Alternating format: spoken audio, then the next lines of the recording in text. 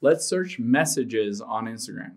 Now, if you want to find an old message and you don't necessarily remember where it is, maybe you don't even remember who you sent or received it from, you can always search for that and find it within the list. So let's open up the Instagram app here and we will just tap on messages at the top right.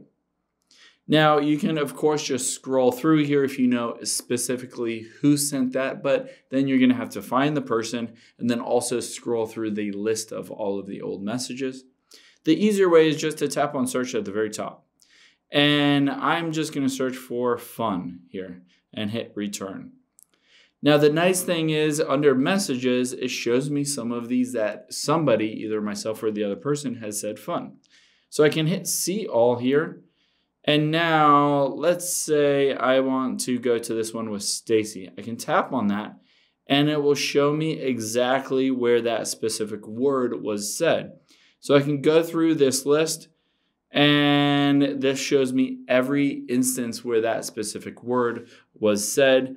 So if there's one that you can go through and you'll be able to find that specific portion within that specific old message that you want to maybe rehash or just catch up and see what they said in the past. Hope this helps. Thanks for your time today, and I'll see you on the next one.